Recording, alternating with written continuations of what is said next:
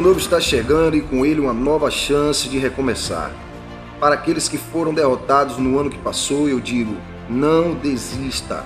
Não desista da sua luta, pois é nela que você encontrará a sua força. Não desista dos seus sonhos, pois eles são a sua razão de viver. Você pode ter passado por momentos difíceis, mas entenda e lembre-se sempre que esses momentos são apenas um capítulo da sua história. Não deixe que eles definam quem você é. Não deixe que eles te impeçam de alcançar os seus objetivos.